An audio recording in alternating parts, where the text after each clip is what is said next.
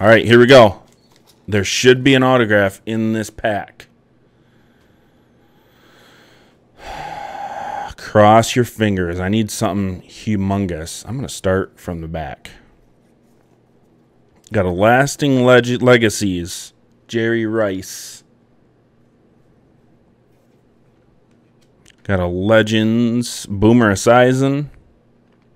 Man, this has got to be a big auto. It's got to be, dude. I can feel it. Peyton Manning. Got Tyler Johnson. Pulled the Tyler Johnson auto the other day. Pretty pumped about that. T. Higgins. And our base cards. That was 12 years ago now.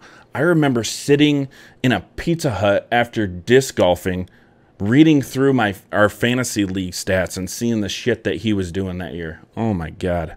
Khalil Mack. AJ Brown. Here we go. Let's go. What do we got?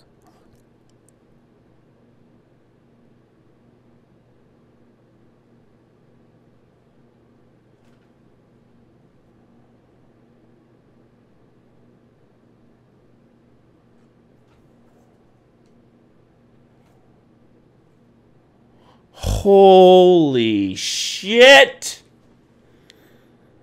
That might be one of the prettiest cards I've ever seen in my life. Du- that's an autograph dual patch rookie card. Focus.